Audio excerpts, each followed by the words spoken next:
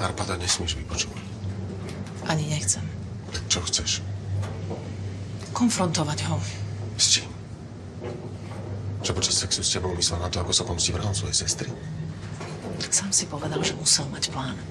Využil ma. Povedal som, že mohol. Mohol mať plán. Tak mohol ma využiť. Čo sa na to mení? Dozorovi ťa prizabíja obhajba na zmysel.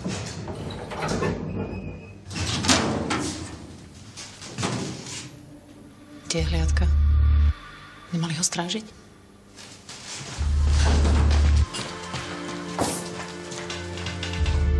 Puls má. Aj dýcha. Zdvihneme ho. Oliver. Oliver. Vnímate ma? Ste v poriadku? Utrel vás do hlavy. Viete mi povedať, čo sa stalo? Preboha, kde je pacient? To by sme aj my chceli vedieť. Kedy ste videli Fila naposledy? A- Asi pred pol hodinou. To už je vonku. Zaklonte si hlavu. Jaroška, Filo zmizol. Vyhlas po ňom pátranie.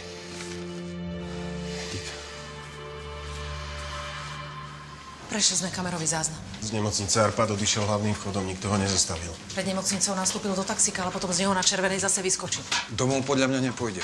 A jeho mobil máme my. Možno išiel k Matému Rábovi. Chlapci, vy rýchlo utekáte do fitka, kde Arpad pracoval.